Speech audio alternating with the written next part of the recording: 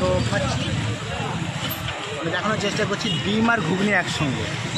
এটা ডিম, ডিমটাকে এটা যদি ফাটায় এটা হাফ বয়েল মানে হাফ বয়েল ডিম, সেদ্ধ ডিম আর ঘুগনি একসঙ্গে, ঠিক আছে? আমি আমি বেশ খাচ্ছি।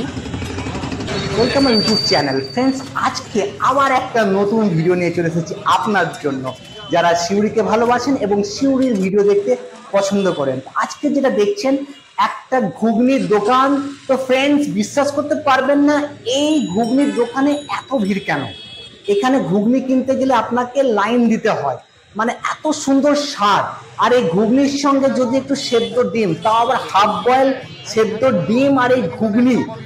এত টেস্টি আপনারা বিশ্বাস করতে পারবেন না। এটা হচ্ছে বেনিমাধবের পেছন দিকে যেটা বড়বাগান মোড় আছে, সেখানে হনুমান মন্দির আছে। সেই মন্দিরের কাছে এই ঘুগনির দোকানটা। এখানে ঘুগনি কিনতে গেলে আপনাকে কিন্তু অপেক্ষা করতে হবে, কারণ এখানে প্রচণ্ড ভিড়।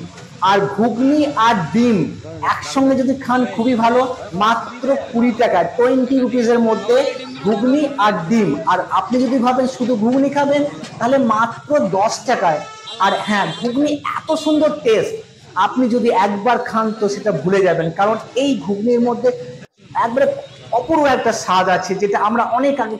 তাই শিউরিকে যারা ভালোবাসো, তারা তো অবশ্যই আজকের ভিডিওটা দেখতে ভালো লাগবেই। আর যারা খেতে পছন্দ করো, বিশেষ করে ঘুগনি, তারা একবার অন্তত পক্ষে দোকানে আসুন।